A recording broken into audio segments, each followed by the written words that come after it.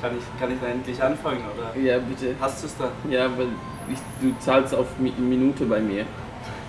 Also je länger du brauchst, desto unbrokener bin ich, Alter.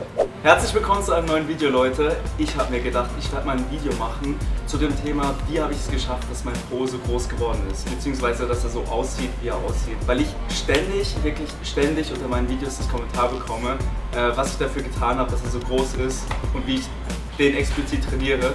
Deswegen wollte ich euch in diesem Video mal so meine Tipps für den großen Po geben. Zuallererst muss man natürlich sagen, dass ähm, ob man jetzt zu einem großen Po neigt oder eben nicht, äh, mit der Genetik so ein bisschen vorbestimmt ist, aber die Ausrede sollte man nicht nutzen, um sozusagen aufzugeben, sein Po zu trainieren. Ich trainiere mein Po jetzt mittlerweile seit ungefähr drei Jahren und habe ich wirklich mehr gemacht als Kniebeugen. Das bedeutet jetzt nicht, dass ihr nur Kniebeugen machen müsst, aber es ist sozusagen ein Tipp von mir, ähm, wie ich es geschafft habe sozusagen. Also man braucht keine große Anzahl, keine große Vielfalt an verschiedenen Übungen. Versucht euch eine Übung auszuwählen, mit ihr zu wachsen, euch zu steigern und dort stärker zu werden. Die Kniebeuge ist einfach die natürlichste Bewegung, die es gibt, um den Po zu trainieren, weil ihr setzt euch hin und ihr steht wieder auf. Es gibt keine Übung, kein Gerät, wo das ersetzen kann. Wenn ihr Fragen zu Kniebeugen habt, zur Ausführung, Technik, dann gebt dem Video auf jeden Fall einen Daumen hoch, dann werde ich da explizit mal ein Video dazu machen, wo ich wirklich auf jeden einzelnen Schritt ähm, eingehe. Also nicht vergessen, Daumen hoch geben. Dann werden wir das im nächsten Video behandeln. Ich werde jetzt in diesem Video ein bisschen den Fokus auf die Kniebeuge legen, weil es einfach bei mir und meinen Kunden wirklich optimal funktioniert hat. Aber wie gesagt, sucht euch eure Übung aus, die bei euch funktioniert, die euch Spaß macht, steigert euch mit ihr, werdet mit ihr stark und dann werdet ihr den optimalen Reiz setzen, um den Po zum Wachsen zu bringen. Egal für welche Übung ihr euch entschieden habt, wichtig ist einfach, dass die Intensität stimmt. Weil wenn ihr draußen joggen geht und eine ausdauernde Belastung habt, dann werdet ihr es nie schaffen, den Po zum Wachsen zu bringen. Weil generell einfach, um ein Wachstum zu erzielen, muss die Belastung ungefähr in einem Bereich sein von 10 bis 15 Wiederholungen, mal ganz grob gesagt. Und wenn ihr joggt, dann seid ihr da weit drüber. Natürlich kann man auch ein bisschen Vielfalt reinbringen, mal Übungen mit dem eigenen Körpergewicht machen, ein paar Wiederholungen mehr machen. Aber im Grunde genommen ist es einfach wichtig, sich auf eine Übung zu konzentrieren ähm, nicht in verschiedenen Übungen äh, okay zu sein, sondern eine Übung wirklich perfekt mit der Zeit zu beherrschen und dann mit ihr stärker zu werden. Wenn ihr Anfänger seid, euren Po trainieren wollt, dann müsst ihr natürlich nicht direkt die Kniebeugen mit so viel Gewicht machen, wie ich sie mache. Das reicht manchmal schon, wenn man die Kniebeugen mit dem eigenen Körpergewicht macht, wenn ihr ein Widerstandsband dazu nehmt, um das Ganze nochmal zu erschweren oder eben dann im nächsten Schritt das Ganze mit der Langhantel mit Zusatzgewicht macht.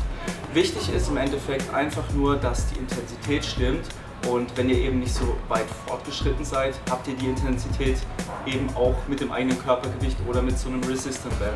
Ich kann euch diese Bänder nicht nur für, fürs Beintraining oder Pro-Training empfehlen, man kann einfach jeden einzelnen Muskel mit diesen Bändern trainieren. Ich mache das oft so, wenn ich jetzt zum Beispiel unterwegs bin, äh, nicht den Weg ins Fitnessstudio schaffe, einfach keine Zeit habe, dass ich dann einfach im Hotelzimmer oder unterwegs einfach mit diesen Bändern trainiere. Also wenn ihr Lust habt, dass ich euch mal ein Video dazu mache, wie man mit diesen Bändern trainiert, wie man Zeit Zeit sparen kann, wie man sich eine Mitgliedschaft im Fitnessstudio sparen kann, trotzdem noch intensiv trainieren kann, dann hinterlasst mir einen Daumen hoch, dann weiß ich Bescheid und mache euch ein Video dazu. Meins ist mittlerweile schon ein bisschen dreckig, weil ich jetzt gerade in Berlin, wo ich die, die Woche war, äh, mega oft genutzt habe und auch generell oft draußen damit war. Also es ist echt eine Top-Sache. Ich habe euch unten in der Videobeschreibung äh, mal einen Link reingepackt, wo ihr sehen könnt, wo ihr dieses Band in verschiedenen Variationen, in verschiedenen Widerständen für Anfänger bis Fortgeschrittene findet. Also wenn ihr wollt, schaut unbedingt da vorbei.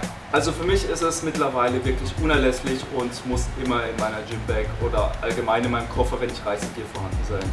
Eine wichtige Sache generell zum Training habe ich noch für euch und zwar fangt nicht an, jetzt wo es Richtung Sommer geht, jetzt wo der Arsch wirklich so langsam wachsen muss, ähm, den pro jeden Tag zu trainieren. Weil wenn ihr das macht, dann kommt ihr schnell ins Übertraining, ihr überstrapaziert eure, eure Muskulatur, ihr werdet nicht genug Regeneration haben und euer Po wird unter Umständen sogar schrumpfen. Also Tatsache, wenn man Muskel viel zu oft trainiert in der Woche, wird er nicht wachsen. Das war jetzt der Punkt Training, aber was mindestens genauso wichtig ist, wenn nicht noch wichtiger, ist der Punkt Ernährung. Weil wenn ihr euren, eurer Po-Muskulatur, eurer Beinmuskulatur keine Nährstoffe liefert, dann hat der Muskel einfach auch keinen Grund zu wachsen, weil er nicht genug Nährstoffe bekommt. Also wichtig für euch, auf jeden Fall genug essen. In der Diät werdet ihr kaum Po-Wachstum erzielen können. Ähm, ausreichend Proteine zuführen, das Doppelte an Körpergewicht in Form von Protein, sprich ich wiege 80 Kilo, ich esse 160 Gramm Protein. So viel zur Theorie, die Umsetzung ist natürlich eine ganz andere Sache. Äh, eine Sache möchte ich euch noch auf den Weg geben, versucht das, was ich euch gesagt habe, alles äh, natürlich umzusetzen, aber eurem Körper auch viel Zeit zu geben, weil innerhalb von ein paar Wochen wächst kein Muskel. Das müsst ihr einfach realisieren.